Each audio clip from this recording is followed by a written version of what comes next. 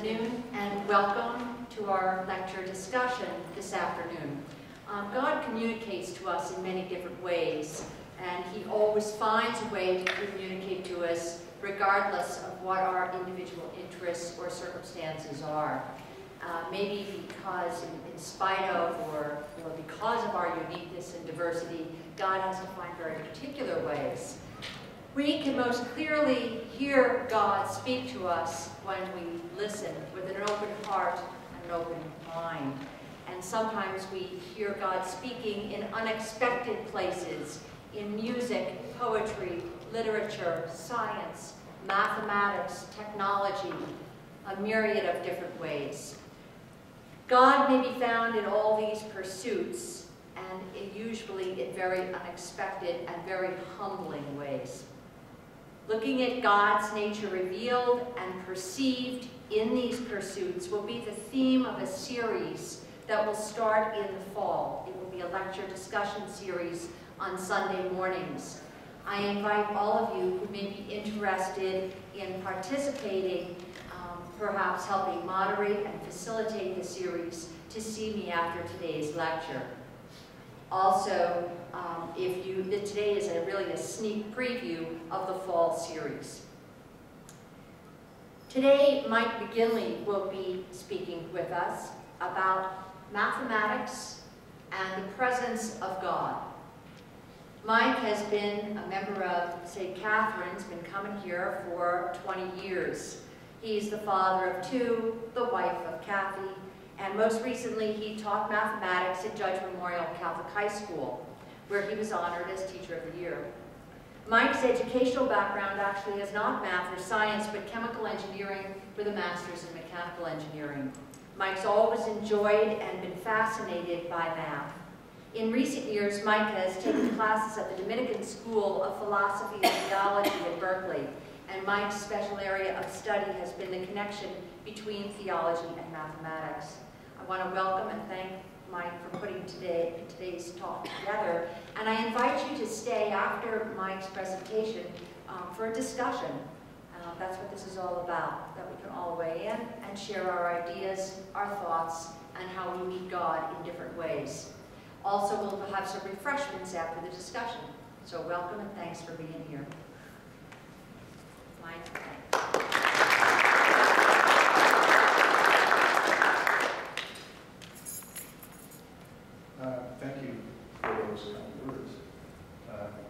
I chose to talk about infinity today, although I would tell you I see all sorts of mathematical concepts in the Bible. But I think most people are familiar with the concept of infinity, and it's not really uh, one that, that we find difficulty thinking about when, when we think about God. Uh, frequently, you'll see that uh, God is associated with infinite concepts. When I tell people that I see... Can you speak a little louder? Okay, sorry. Thank you. When I tell people that I see mathematics, I see God's voice in mathematics, I usually get a strange reaction. Sometimes it's just a raised eyebrow. Uh, more frequently, it's, it's a puzzled look. But I really do. And uh, let me start with some general thoughts about infinity. The, the root word of uh, infinity in the English language, at least, is from the Latin. And I've highlighted over here unbounded because it can be translated from the, the Latin as meaning something that is unbounded. The Latin word actually came, the source of it was the Greek word, which once again gets associated with endless, or it could be translated as endless. And that theme will continue to show up in, in many of the gospel passages that I'm going to talk about. There's this symbol for uh, infinity in mathematics. And as I mentioned at the outset, uh, it's not hard for us to think about the infinite when we think about God because we see these words of omniscient, omnipotent, etc. Uh, often get used in association with God. Now what I'm going to do today is uh, present this in what I would describe as three sections. The first section is going to be a little bit of a discussion about the history of infinity from a mathematical perspective and how humans understand the concept. And frankly, uh, we don't really understand it even now. but nonetheless, the first section will be historical from a mathematical standpoint. The second section will be certain gospel passages that I think really speak to that understanding that we have of infinity as best we have it. And the last section is uh, a discussion on what I would describe as very abstract mathematical concepts. I'm not going to get into any equations or anything, it's very visual, uh, but I'm going to try and connect those abstract mathematical concepts with some mystical passages that show up in the Bible. So, with the uh, first section, I, have kind of stolen that name from Stephen Hawking's book on a brief history of time. This will be an even briefer history of infinity in mathematics. But some of these concepts show up as early as, uh, and perhaps even earlier than the Greek philosophers uh, before Christ was even on the earth. Zeno was uh, a philosopher, not really a mathematician as such. But he tried to explain his view that reality that we, we think we perceive is really an illusion. It's, it's not real, and it can't be real. And the basis of his arguments, he, he offered several of them, uh, and I'm not going to go through them individually, but he offered several of them. The basis of his arguments are what we would call now an infinite series. And the reason he said that what we perceive can't be real is, is structured something like this. If I were to walk to that wall over there, even though I think I could and I, I think I could go and touch it, I really couldn't. Because the first thing I'd have to do is walk halfway between where I am now and the wall, and then I'd have to walk half the remaining distance, and half the remaining distance, and half the remaining distance. And you can see this progression that he has. It's an infinite series. Divide by half each time, subdivide. And he said, you cannot have an infinite number of divisions in a finite amount of time. And certainly, I don't think anybody would disagree with that. Um, his, his paradoxes are still discussed today in many different areas, uh, philosophy certainly, in math certainly. The next, the next person I'm going to mention on this list is Aristotle. He responded, not quite a hundred years later, but it was in the next century. He responded to Zeno's paradoxes, but that's not why I have him on the list. I have him on the list because of his influence, and actually the Greeks in general, on the way we think, our rational thought processes that are so dominant in Western culture. And he, he, he described them in, in a number of ways, but two of the ways he described them, one was deductive argument, which is going from a universal to a particular, and the other one is inductive argument, which goes from a particular to a universal. And it's the inductive arguments that that Aristotle spoke about that scientists and mathematicians use to deal with a transition from the finite to the in infinite, going from a particular to a general or a universal.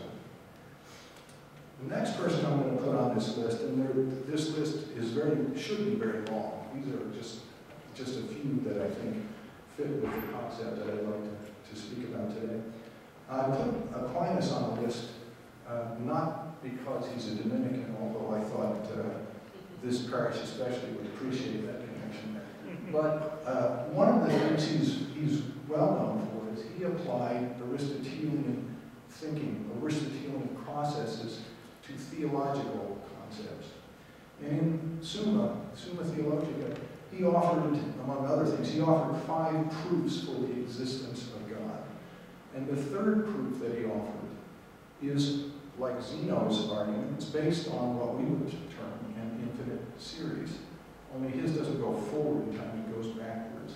And it's often referred to as the uncaused cause, or the, the first cause. And the argument goes like this, that everything in reality, everything that we can experience or, or touch or see or feel had a cause. And in, in like manner, that cause had a cause and so forth, all the way back. And ultimately, you get back to what he described as the beginning, and the question arises, what caused that first? And he called that the uncaused cause, which he associated with God. So that was one of his proofs. And the infinite series argument, once again, um, he, he clearly stated that you cannot have an infinite series going backwards in time, so there must be a beginning. And there are some physicists who would argue with that today, but nonetheless, um, we'll talk about that a little later. The next uh, individuals I'm going to put on this list are uh, some 400 years or so later, Newton and Leibniz, who are both credited with being the individuals who, who uh, summarized some of these infinite concepts together and gave us a tool called calculus. And calculus is a very, very powerful tool that's used by mathematicians and scientists to deal with infinite concepts. And I, I should mention, and I think this is critical, in spite of how powerful calculus is, it doesn't deal with infinity directly. It deals with it indirectly. And it's, it's very powerful and very effective, but even now, even using calculus, we're not, allowed, we're not able to really reach the infinite. We can just get a sense of what it might be, and calculus is a tool that gets used a lot. Um, the next two mathematicians I'm going to talk about are 19th century, so a couple hundred years later after Newton and Leibniz. And the first one I'm going to mention is uh, a mathematician in the last part of the 19th century. Uh, he, Cantor redefined the concept that humans have of infinity. And you'll notice up there, I, I've got an S on the end of it. Lot of students that I had to Judge were always surprised when I told them there are different sizes of infinity. That's a very baffling concept for a lot of people, but he proved the fact that there are, in fact, different sizes of infinity. In fact, he showed that there are an infinite number of infinities. And he called those infinite number of infinities transfinite infinities. They're truly infinite, but there are different sizes. He also gave us what we now describe as set theory. In mathematics, it's referred to as set theory. And he said there is a set of infinite infinities, an infinite set, but there's also the set that contains that infinite set, and he described that as the absolute infinity. So the absolute infinity contains this infinite number of transfinite infinities, and he very explicitly associated the absolute infinity with God.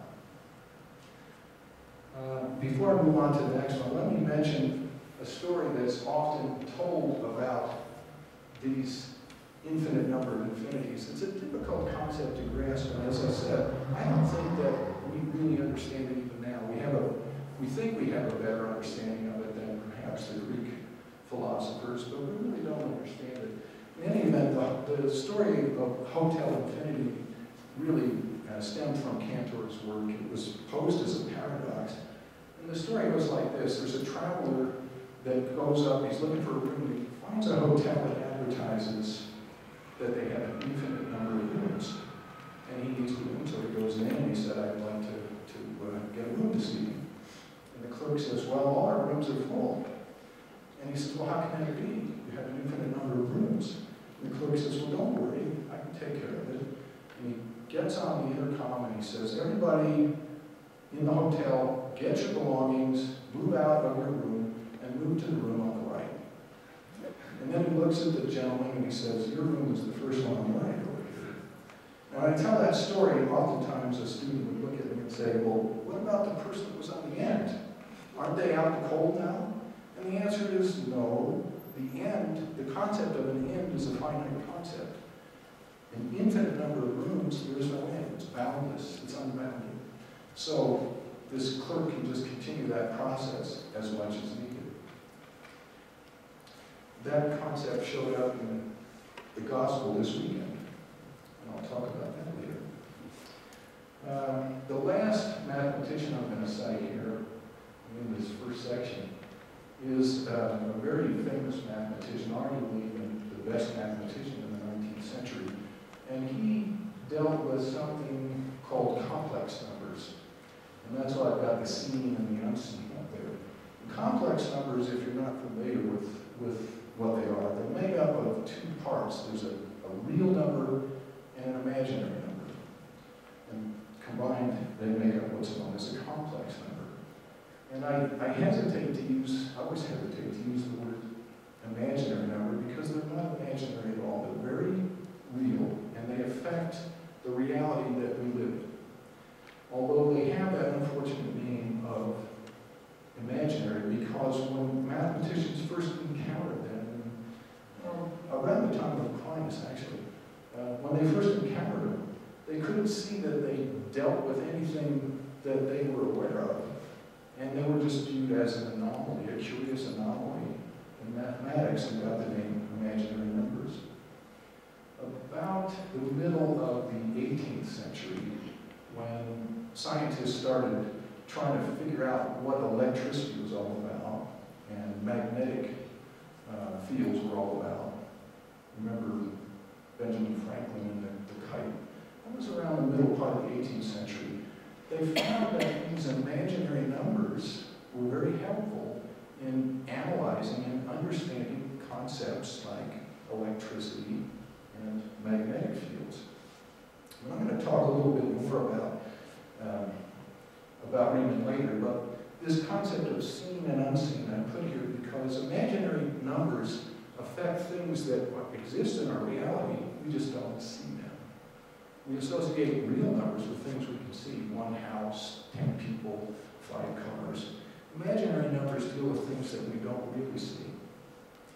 Now, before I move on, I want to make certain, I want to emphasize the fact that when I talk about mathematics, it's not just abstract mathematical concepts. The work of Cantor and Riemann greatly influenced modern science. In fact, Cantor's infinities are a central part of quantum theory. And Albert Einstein relied very heavily on Riemann's work when he developed relativistic theory. And those two scientific theories are the best theories we have right now in trying to understand the reality that we live in, the reality that we're immersed in. Now, I put this up here as a caution because this is going to show up in the Bible. It shows up all the time. When you start applying finite thinking, finite thinking processes, those rational processes Aristotle spoke about, to infinite concepts, you have to be careful. And in fact, if you speak to a mathematician, they'll, they'll advise you that very strongly. But there are some ways that you can develop intuitive concepts of infinity, and I'm going to speak about one of my own experiences where I apply a finite thinking process to an infinite concept. And it was the night before my daughter was born. My daughter was born by cesarean, so I knew exactly when she was going to be born. I knew the day, the time, and the place. And the night before she was born, I went in, which was my habit, to check on my son, who was an only child at the time. And I'd see that he was tucked in and make sure he was sleeping soundly and say a prayer, and then I'd go to bed myself. And the night before my daughter was born, I walked in, and I was overcome by this sense of, of grief and sadness and, and betrayal. And it surprised me. And when I thought about it later, I recognized that I was thinking very finite about something that's infinite. The next day, when my daughter was born, and I held her in my arms for the first time, I realized that contrary to what I had thought the night before, the, the love that I had for my son wasn't cut in half. And that's kind of what I was thinking the night before. I was going to have to share that love with my daughter, or, uh, the, the, new member of our family that uh, was my daughter the next day. And the, the problem I had was I'm applying a finite concept of cutting something in half to an infinite concept of love. You can't cut love in half. You can't multiply it by two. I didn't love my son any less the next day. I didn't love him. I couldn't possibly have loved him any more than I did the night before. And I love my daughter every bit as much. How can that be? Love is an infinite concept, and I had fallen into a trap of thinking in a finite way about something that really is infinite. The other one I put up here, um, I like this. I like this one actually better from a um, technical standpoint. I was talking with my wife about my concept of infinity, my experience with it one time, and she said, well, from the concept of infinity, she said she pictures a still pond. You pick up a rock where that, that rock enters the epicenter, waves go out from that. And the waves start out fairly large and they get smaller and smaller. And they dissipate, but they never really go away. And although there, there are some assumptions that are in that image, I think it's a very beautiful and profound image because our reality is much like that. And we see that in the analysis of quantum mechanics. These waves that go out are there forever. They never really go away. So I think that concept is very beautiful and very profound. Okay, so now let's go to the second part here, the infinity gospels. I talk about where do I see the concept of infinity in the Bible. And the miracle of the fishes and the loaves, in my view, is clearly a concept of infinity. It shows up in all four Gospels, and it shows up more than one time in two of them. But they all have something in common, and one of the things they have in common is that at the end of the story, there was more fish and bread left over than they started with. And obviously described as a miracle. But when you think about it, the concept is an infinite concept, an unbounded concept. And that concept follows Jesus around a lot, as you'll see. In fact, in two of the stories, in Matthew and Mark, in two of the stories, there's 4,000 people. In two of the stories, there's 5,000 people. But the point is, at least as I process it, it didn't matter how many people there were. There could have been 10,000 or 100,000 or a million. There would have been enough. There would have been more than enough because the gift that Jesus gave to these people, the food that he gave, was infinite. That same concept shows up at the wedding feast of Cana. Once again, we get some finite elements in there. There were a finite number of water jars, and there was a finite number of water, number of gallons in each jar. And it doesn't tell us at the end that there was anything left over, how much was left over, but I think it's very much implied. There was enough there was more than enough. The wedding gift that Jesus gave at Cana was an infinite gift. It was boundless. Not only was it more than enough, but it was even, even better than the wine they started with. Okay, this one I put in because I think the gospel that you heard today, or yesterday if you were at Mass last evening, and that story I told you about Hotel Infinity, Hotel Infinity is almost an exact echo of this gospel story. In fact, some gospels translate this as, my father's house has many. And in the gospel that you heard today, which is not too many um, verses past this one in John, uh, Jesus said, my father and I will come and dwell with you. We'll see that one a little bit later. But once again, this, this concept of an infinite substance, an infinite concept shows up I like this one a lot. It's not a miracle, and it's not mystical like, like the last one. But this is the story about the landowner that found some workers and sent them out into his field to pick grapes early in the morning at dawn. And then through the course of the day, he found other workers and sent those workers out as well. And at the end of the day, when the last workers went to receive their compensation, they received it first, and the, the vineyard owner, the landowner, gave them full day's wages. And so the other workers who had been there much longer got angry. And they got angry because, as, as most of us would think about it, a day's wages or dollars per hour, dollars per day. Very finite thinking. If you think of the landowner, the vineyard owner, as God, which isn't much of a stretch, and you think about the compensation as infinite, how can you get more than what's infinite. The pay that the, the workers late in the day received was infinite. The pay that the workers earlier in the day received was infinite. More than infinite. Those workers were guilty of finite thinking. And if you process that gospel story as an infinite gospel, it makes perfect sense to me. Ironically, this is, this is the first gospel I started thinking about in these terms, infinite terms. And I was, some years ago, I was thinking about the good son that stayed home. And when his brother returned and the father was so, so overjoyed, the good son got angry. He did everything his father wanted, did what he said, I stayed here, And why are you, why are you so happy? This good son was very angry. Why could he have been angry? And I started thinking about it. There could be a number of reasons, but two of them that surfaced. One one was the same trap I fell in with my son. Up until the return of the prodigal son, the good son had 100% of his father's attention and presumably 100% of his father's love. And so, with the return of his brother, now he thought perhaps that it was going to have to be shared. So, somehow his portion was going to get reduced. But if you think about love, and if you think about the Father this case as God, love is an infinite concept.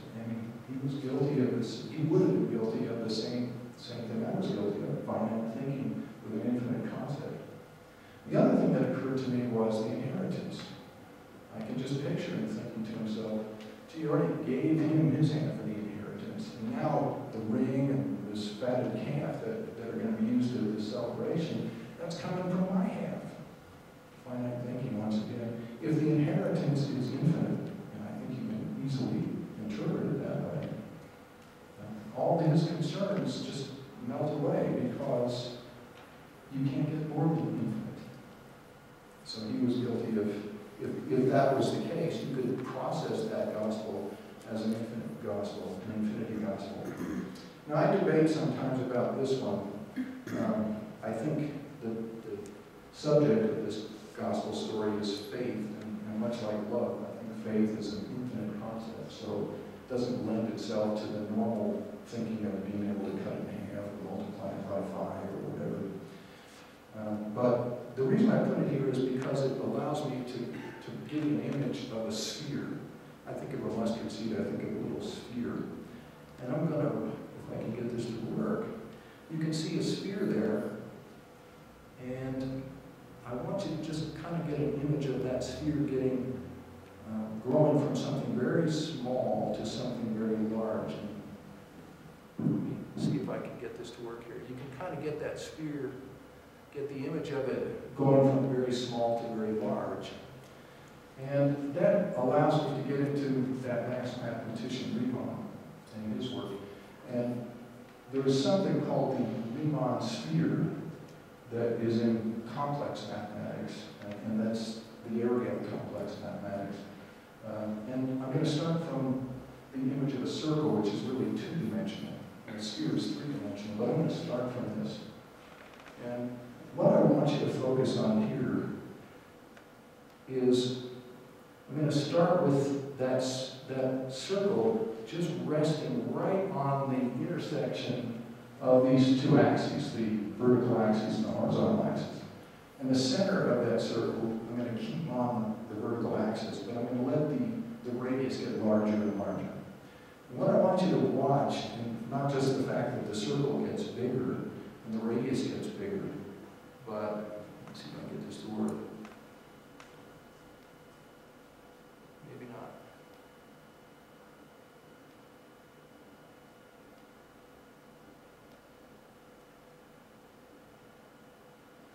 Can see that circle get bigger, but what I want you to focus on is what's happening to the curvature of the circle as this radius gets larger. That curvature actually gets flatter and flatter and flatter. And you can see those images up there, and I think it's pretty clear from that. And what happens if it were possible to get this center of the circle to reach infinity? This would become completely flat. In fact, the circle would actually become this horizontal axis. The center would still be on the vertical axis, but the circle becomes that horizontal axis. And that's the point that I want you to focus on. Increasing radius, flatter circumference. Now I mentioned that Riemann dealt with complex numbers, which are a combination of imaginary numbers and real numbers. Numbers aren't imaginary at all. But what he did was he allowed this vertical axis to be the imaginary axis and this horizontal axis to be the real axis. And what he found was, was very abstract, very surprising. And what happened, and it's called the Riemann sphere, and this has been proven mathematically, some, a professor of mine once described this as something that's weird and wonderful. And this is an example. And, and I'm getting into the seen and the unseen here because the unseen, the imaginary, which isn't imaginary, we, live within this world that those imaginary numbers help us understand. If the radius became infinite, the circle becomes a sphere. And what happens is somehow that horizontal axis and the vertical axis meet at infinity. The circle becomes a sphere, and the center becomes part of the surface of the sphere.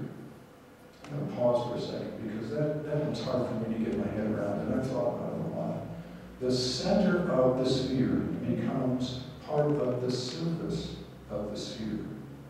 As I mentioned, this has been shown mathematically to be a correct analysis. It's been proven.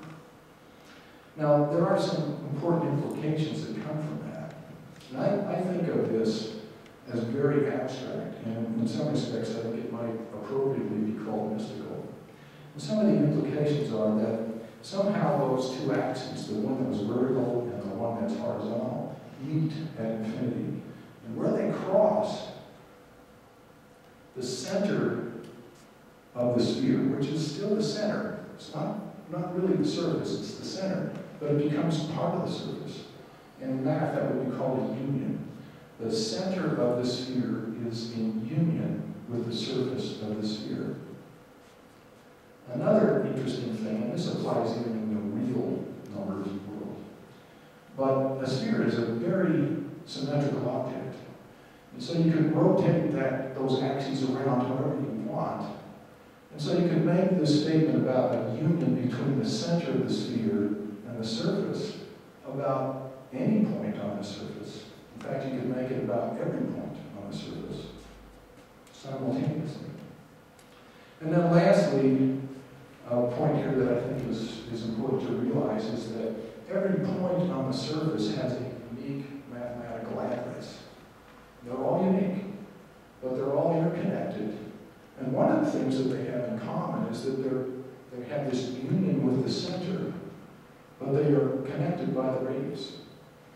They all have the same radius. So what does that mean? Well, I'm going to leave those points listed up there. And uh, I'll see, I'm going to cite these mystical passages in the Bible. And hopefully you'll be able to see, as I do, a connection between these mathematical concepts and these mystical passages. I've got four of them here. The first one is in John. John is uh, often described as the most mystical of the, of the Gospels.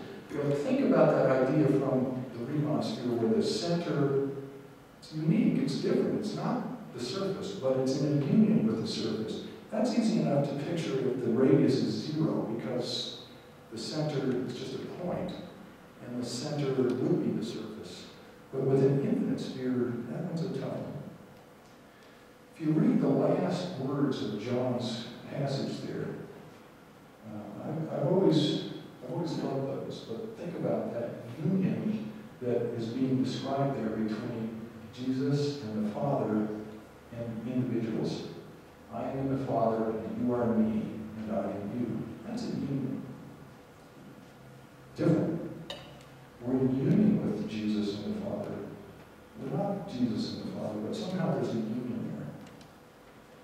Each point on the surface of the sphere is unique, and all the points on the surface of the sphere are interconnected. St. Paul understood this instinctively, and I like to think that he understood it from his conversion in the Acts of the Apostles when he hears that voice say, Why are you persecuting me? Now remember, at this point, this is after Jesus was crucified, resurrected, and ascended into heaven. Jesus is no longer on the earth. But the voice says, Why are you persecuting me? Doesn't say, Why are you persecuting my followers? Doesn't say, Why are you persecuting my flock? Or why are you persecuting my sheep? Which is really the people that Paul is going after. It says, Why are you persecuting me? Very clearly, I think it conveys this idea of and then later, in 1 Corinthians, he actually says the words Now you are Christ's body, and individually parts of it. Once again, we get this concept of union, uniqueness of all of us individually, but a connection between God and each other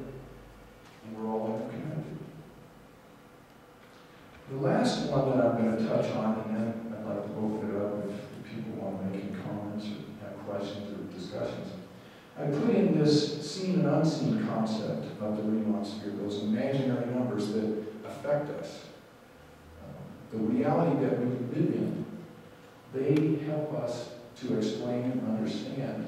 And they're very central to both quantum and relativistic theory. They're not just abstract mathematical concepts. They affect the reality that we live in. We know that.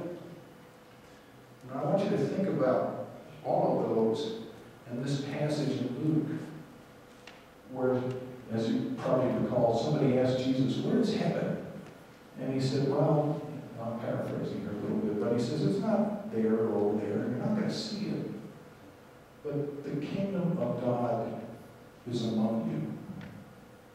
And I always, in the past, I interpreted that as a self-reference. There was Jesus talking, so he's referring to himself. The kingdom of God is among you. There he was. But when you think about it in this broader sense of union, the center, the surface, God, Jesus, each of us, it takes on a whole different perspective, for me at least. So let me summarize this, and then we can open it up. And I, I put this here, the seen and the unseen again, because um, earlier today, or if you went to Mass last night, you said almost those very words when you recited the creed.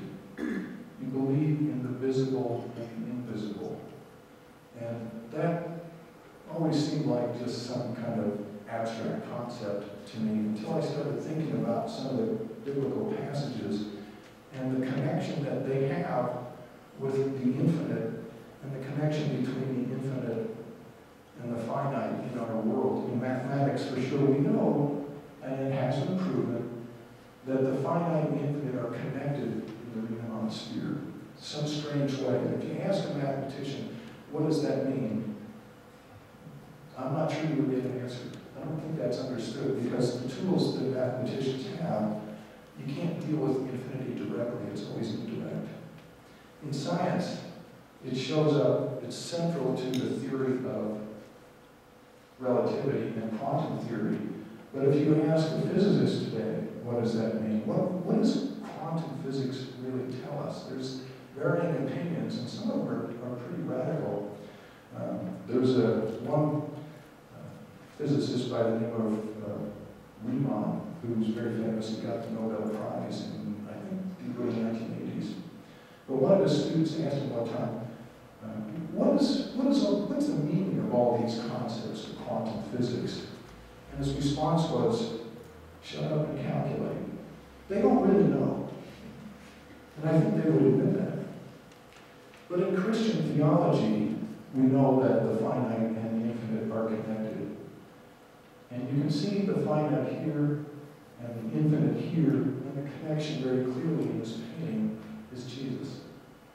And so I think that summarizes, and that's why I like this particular painting so much, because it summarizes this whole idea of the connection between the infinite and the finite that is very definitely a part of the cutting edge of mathematics and science even now.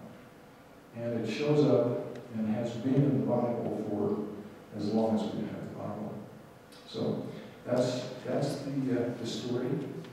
And so if you have any questions, I'd be happy to take those. Or if you want to talk to some of the theological experts, and if we have, uh, we have at least one here that I know of, there's probably one. I have a question. Oh, you guys have Uh, You want to speak in here? Yeah. On that Riemann, uh, Riemann sphere, Riemann sphere, uh, I understand how, you know, two-dimensional, how the shape. At what point does it turn into a sphere? At infinity. And At infinity. Up until then, it's just, uh, it, it has a size, but it's not infinite in size, so it's at infinity. You can think of it if you think of that sphere, that, the reason I put that up there in three dimensions, because I think the image is very good, but the, the Riemann sphere is actually an infinitely sized sphere. That's where it occurs. That's why I'm a mathematician. But It's, it's a tough concept, and I think it's important. I, you know, I, I talk to people about this, and they, they kind of shake their heads. I've thought about this for many, many, many years, and I still have trouble with it. It's a very abstract concept, but so are some of those mystical passages in the Bible. They get debated and have been debated for thousands of years, and they're tough to understand. But, but the concept of the Bible, we can rely on faith for those, but this other, it's just, Well, that's, one of the things that I like about it is that that part of mathematics and science, all of our scientists and mathematics believe in firmly. It, it's demonstrated in finite reality that those concepts are in fact true, in reality. Now, we can't transcend reality because we can't get to infinity. But if you start thinking or trying to think about the infinite and its relationship to the finite, I think it just leads you right back to these concepts that, that we read and hear in the Gospels every week. Can I ask another one? Sure. this? Uh, This booklet here about is on had it since the sixties, Huh? and it, it talks about uh, why we should believe God, but it, it it cites uh, a couple scientists, Leconte, do you know why? I don't know. And uh, A. Cressy Morrison. So through calculus, they, higher mathematics, they demonstrated that uh, the creation of life uh, and the conditions on Earth for us to exist could not have ever happened by chance. Wait, Here, I'll give this back. No, I, I believe you, and that's really a topic that gets discussed a great deal even now in philosophical circles, theological circles. I think mathematicians and scientists are, are on the, on the finite side. Uh, and they're, they're in the old, uh, like St. Thomas the Apostle, know, show me, give me some proof here. And they live in a world where they have to, they have to have proof. And if, if they didn't, they wouldn't survive there very long. So that's, that's a necessary part of it. But this concept, there's, even the best mathematical models that exist right now, there's still a very, very, very small chance that that's not true. It's so small that scientifically it would be accepted as a new theory, no question about it.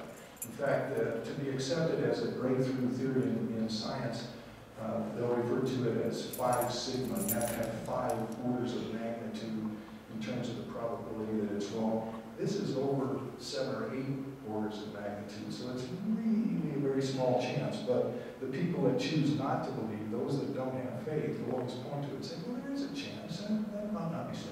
No. Uh, So there's a chance. the, the fact is that our mathematical models, our, our math, our systems of math, are not capable of dealing directly with infinity. It's always an indirect way. The, the process of calculus, when you analyze it, boil it down, it's an indirect approach.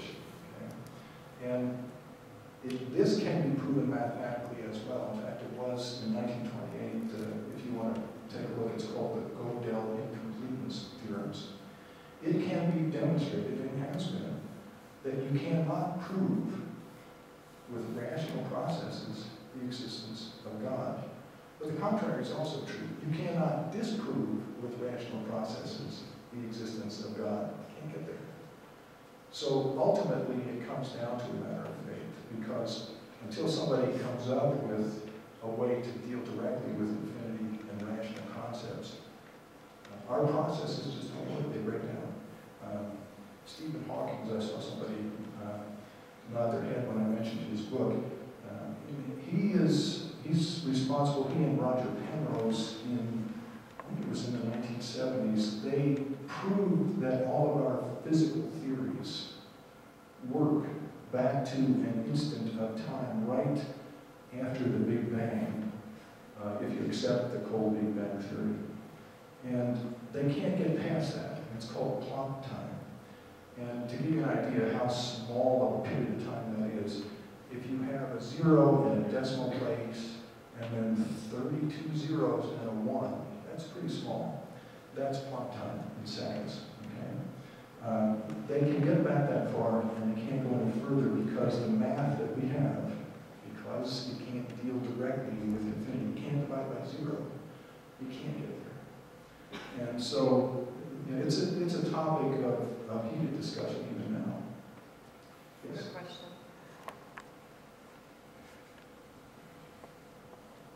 I'm not going to give you the gory details of um,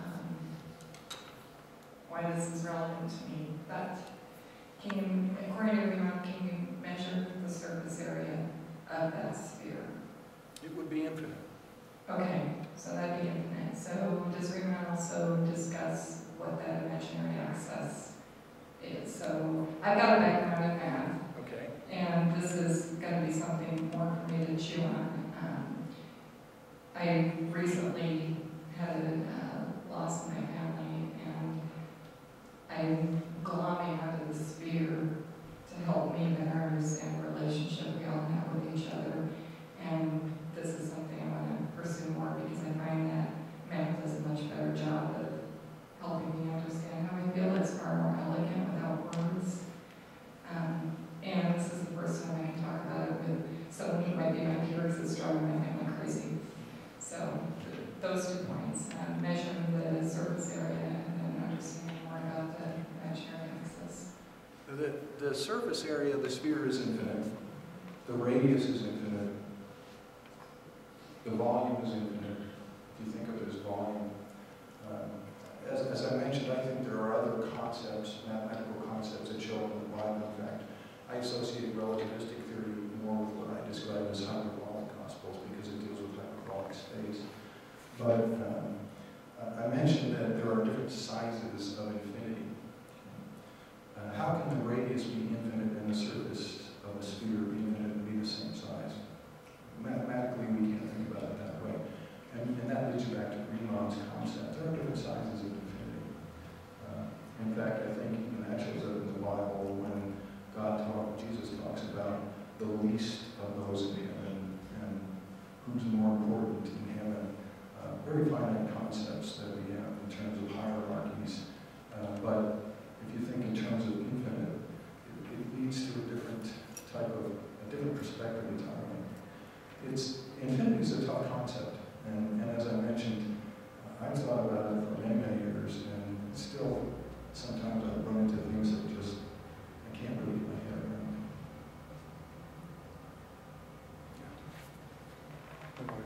Just- I just wanted your opinion on a- a notion that there was an axis created to Christ's birth at the time that he was born, uh, in the Box of And uh, that expanded into, Through infinite.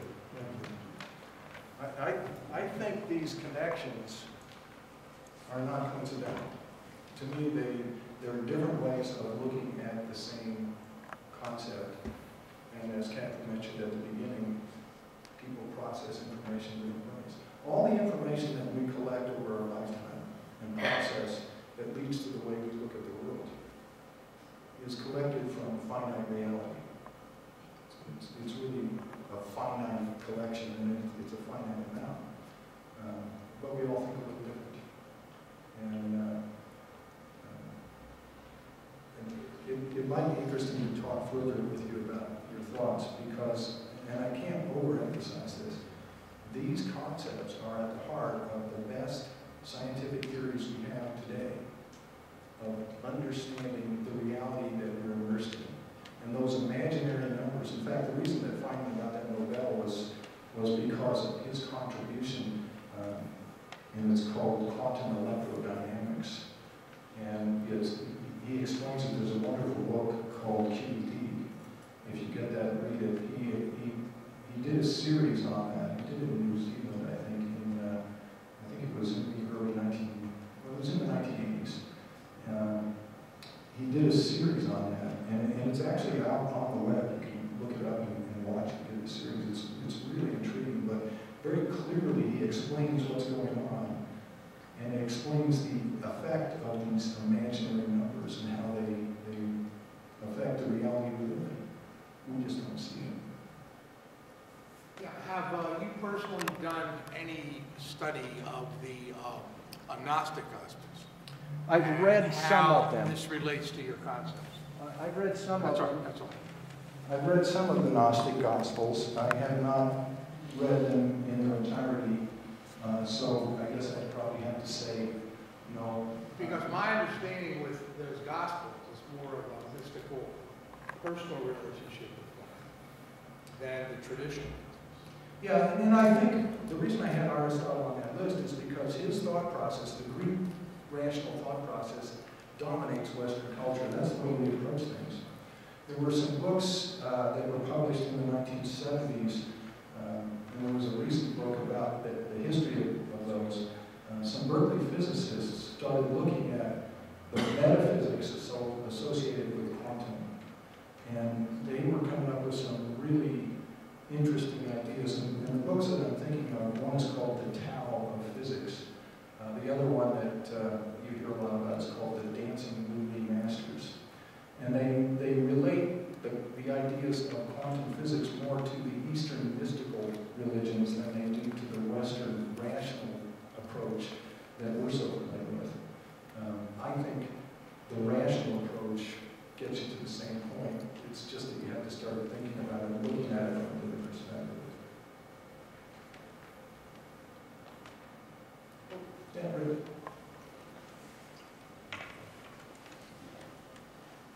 know how hard it is to get your head around infinity, uh, among a whole bunch of other mathematical concepts.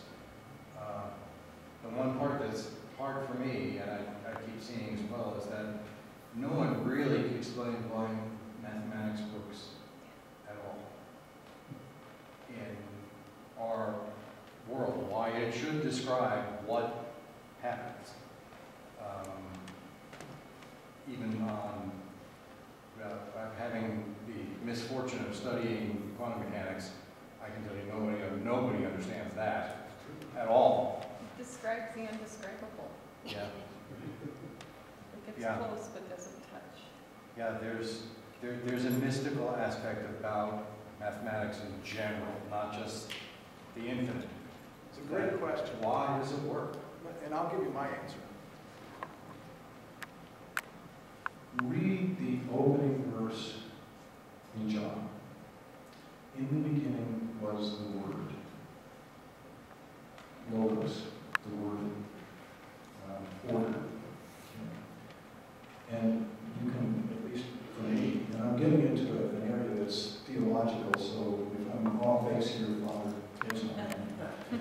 But when you think about order, in fact, in the opening part of Genesis, you know, the order that God goes through in the first seven days. Um, Mathematics allows us to apply some things that describe order. It's a very precise uh, science, and it allows us to describe order. And right at the beginning of the Old Testament, in Genesis, and right at the beginning of John, I think those words come out. In the beginning was the Word, the Word. And I, I think that connection, the reason mathematics works is because of that order. And it's really a method of, of uh, describing order in, in a very particular, precise way. That would be my answer. Uh, but a great question, and there's actually an area called philosophy of mathematics, which is an interesting area if you, if you would want to do some work around there. Others? Sorry. Has uh, mathematics proven without doubt that uh, space is infinite? The other thing is, you know, I talked about before, the calculus and those other mathematicians, by math, prove that orders of life do not exist by chance or the conditions for us to live on this earth. by Extremely. but they're just, a- but they're, the percentages for that to be true then are super high then compared to the, the chance that it not be true. I, I agree. I don't see how someone can look at those numbers and those probabilities and conclude otherwise, but there is that slight, small possibility, very, very small. Um, Your first question was Oh, about okay. space, is it infinite? Yeah. Uh, If you get into Einstein's work on relativity, specifically the general theory, not the, the special theory, the general theory came out in 1915. And in that theory, there was an article in the paper about, about somebody testing his theory just recently uh, as it relates to gravity. Uh, if you believe his theory, and I think most credible physicists today would tell you, yeah, there's, there's a lot of evidence that says it's true. Uh, space is not infinite. In fact, space and time are related. And over time, space has grown. And in fact, that comes from, uh, uh, trying to of the scientist in 1928 who got the Nobel Prize for. Uh, the constant that gets used now to, to uh, calculate the length of time the world's been in existence, typically it's about uh, 14 billion years, let's depending on the constant we use.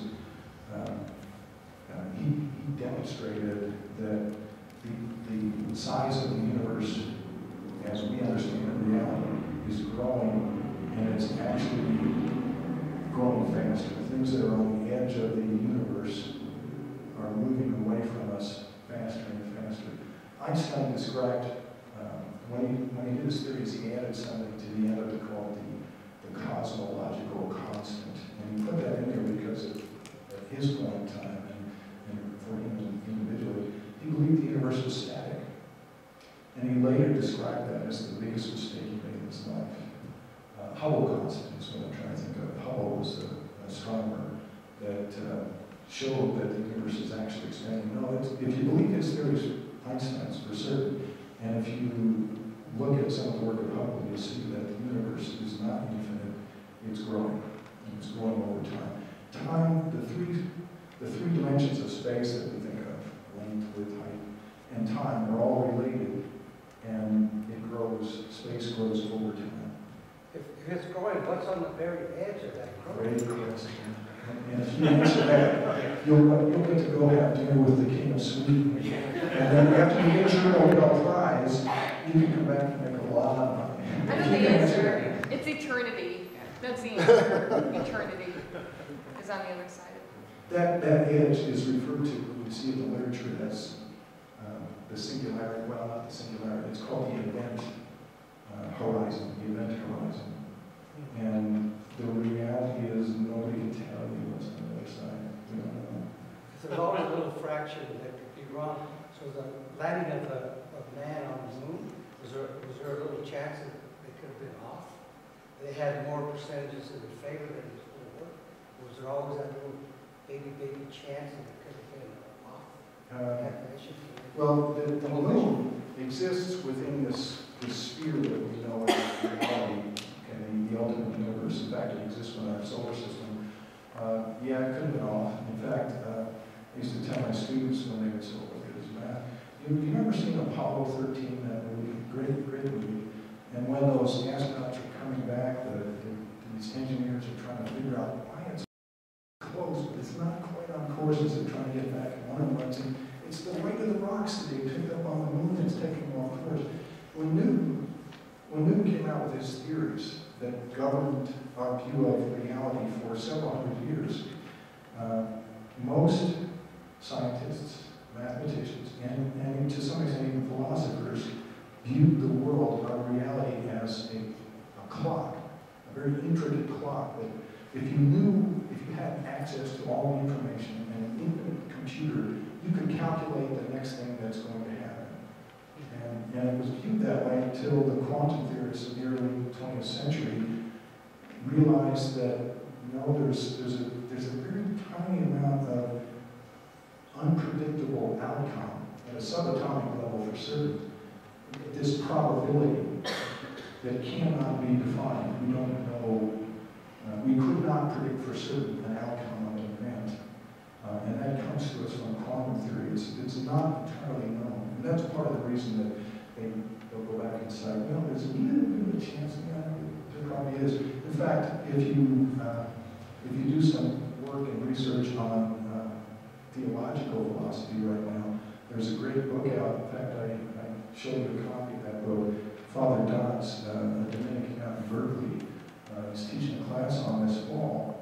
And he's, he, the name of the book is Divine Action in the World. There's a lot of discussion right now about is that the way God acts in our world at this quantum level, this, this unpredictable level before, as the quantum physicists would say, before the wave collapses and we, we have this matter that we can see and touch, or at least think we see and touch, if you believe Zeno.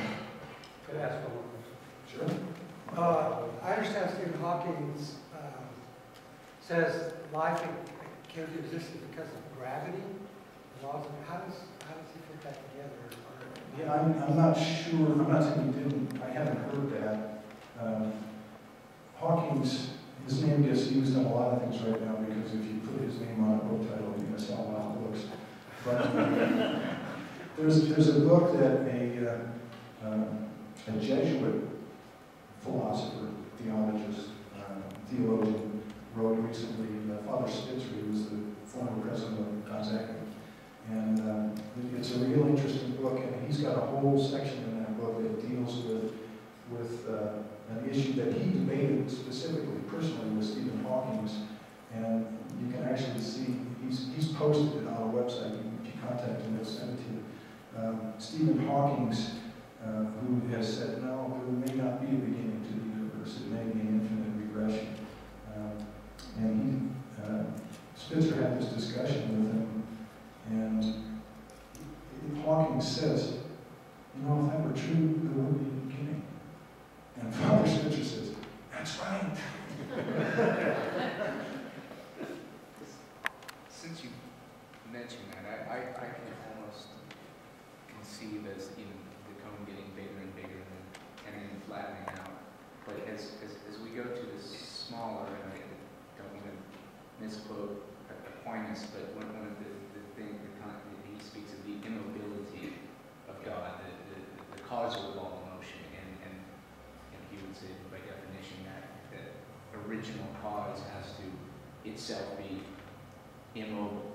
But then some of these mathematical concepts where we talk about, you know, infinite series and things like that, having again, having again, having again, getting to that wall, we, we, we never get there. In, course, in reality, if I go run at that wall, I, I, I, I reckon will hit it at some point. So, but i- i- is, there a, and- I'm no mathematician by a long shot, but is there, is there a, a, a mathematical concept that, that, that people can use to, to perhaps better understand something that maybe I can accept is sort of in that, uh, Aquinas theory of immobility of, you know, we always tend to think of things in these, uh, number lines. You get to zero, of course, and then, and then you go negative, or you get smaller and smaller and smaller, and, and the way my pea brain can, can comprehend that is it, it gets so small that eventually it can't get any smaller. There is the immobility, and in, and in there is, it is God. To, to, to me, I mean, that's the way I, I can conceive of what, of, of what Aquinas is talking about. Is there a, is there a mathematical concept that's perhaps a little bit simpler that doesn't seem to, again, these infinite series that would tend to try to mathematically disprove that notion. How do you reconcile those, those I- two? Does that make? Uh, Yeah, I'm not sure I, I totally understand your question, but I I would cite several things. One, um, I, I think we have an answer to Zeno's paradox. Uh, and there's a mathematician in the early part of the 20th century, David Hilbert, uh, and some of his work he generated, in fact, he generated a, a paradox named after him about Cantor's set theory. But the, the mathematical tool that Newton and Leibniz gave us, calculus, although it can't deal with dividing by zero, it can't get down to that infinite. You can't get to it either way, going out or going in. Um, you can get to what is described as a limit, and that's how scientists deal with it. They, they can't really tell you for sure what's there at infinity, apply the tools of calculus, you can demonstrate that in fact you touch the wall. That's the limit. You'll get there.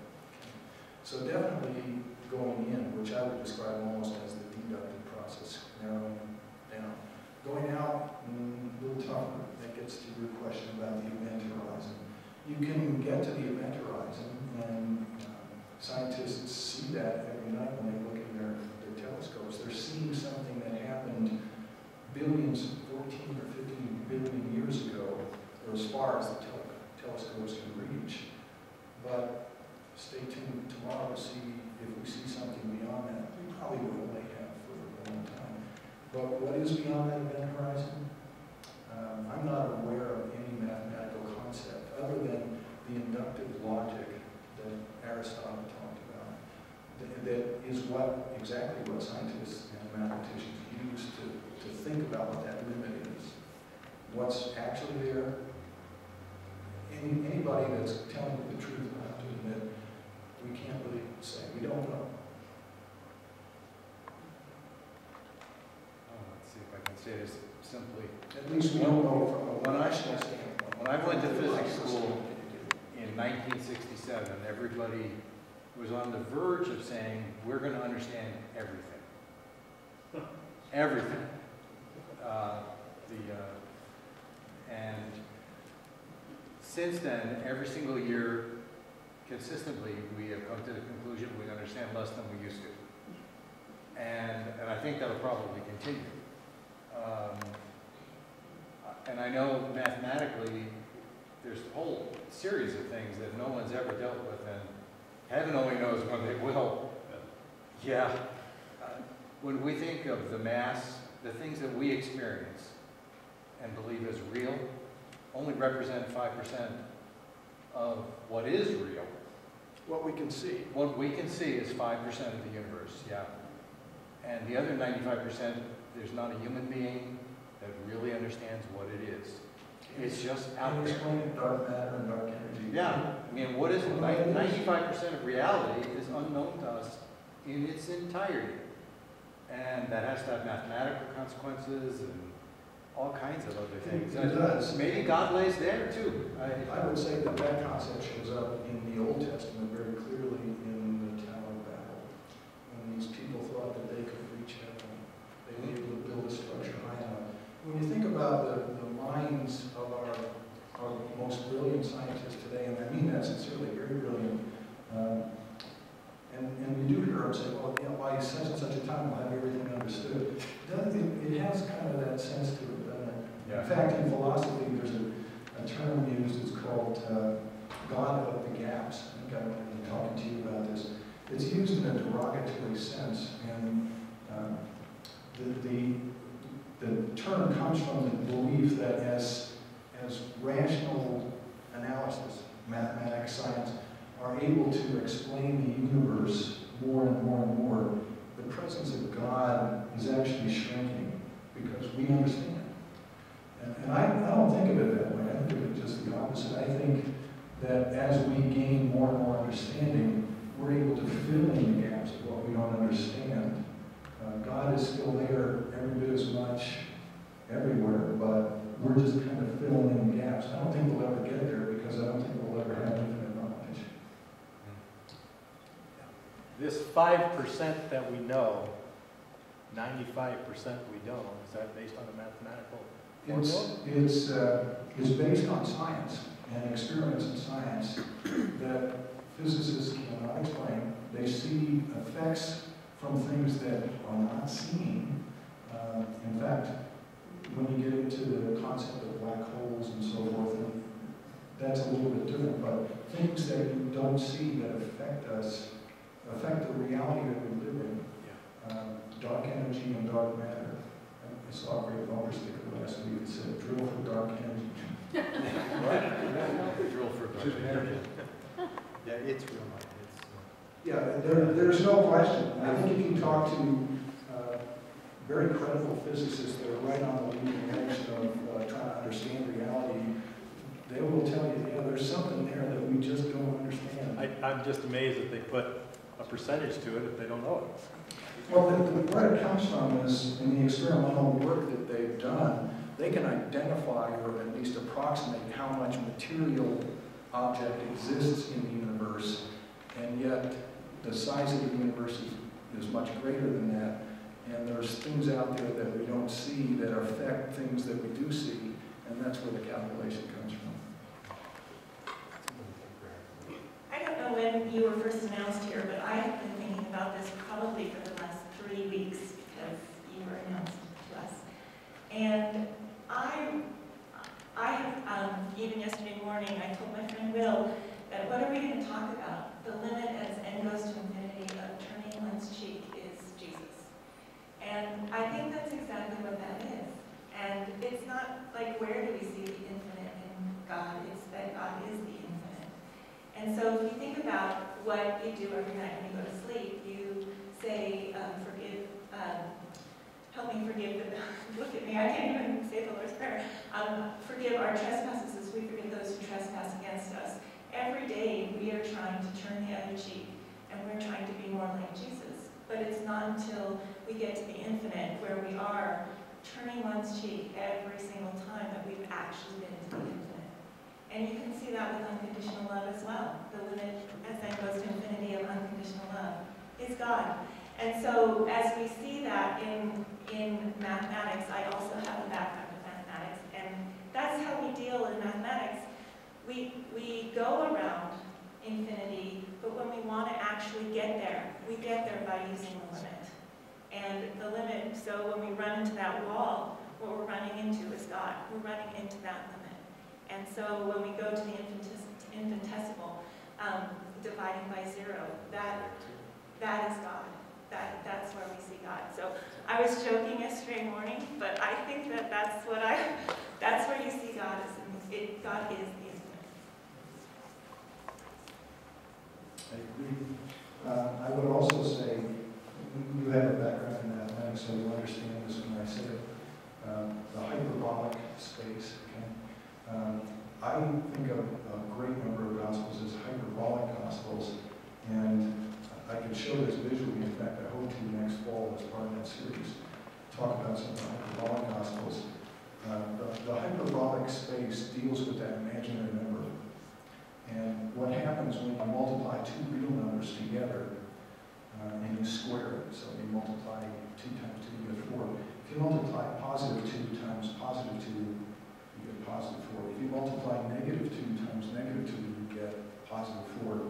There's no square that we have in real numbers that gives you a negative outcome. Imaginary numbers do.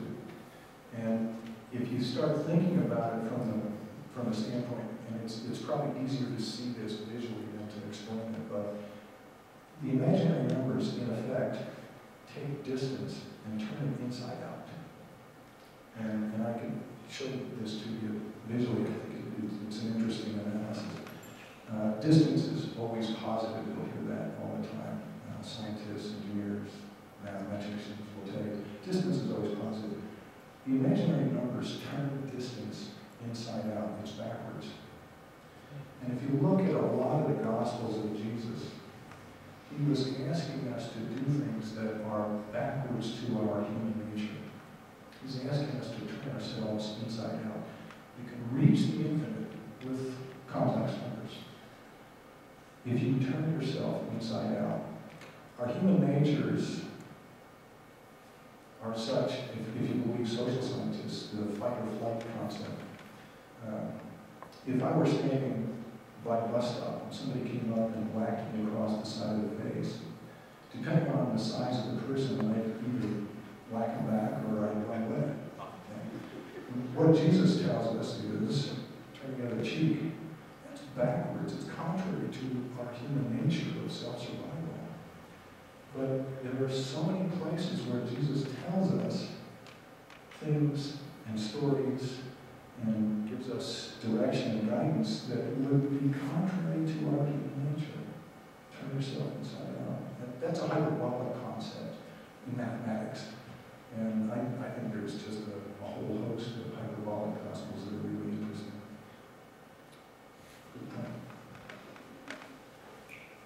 Yes, sir.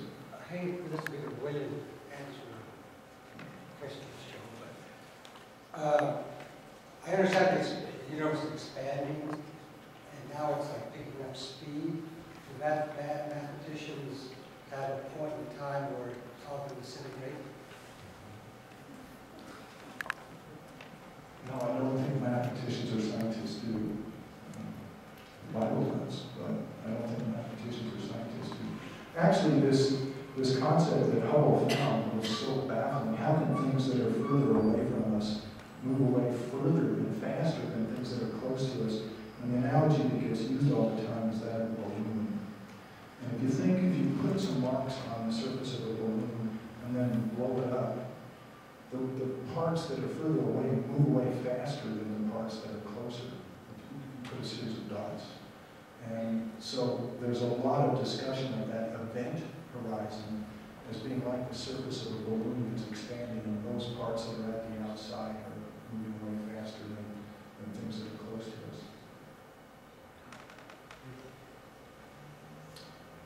Well, that's it. Thanks for coming.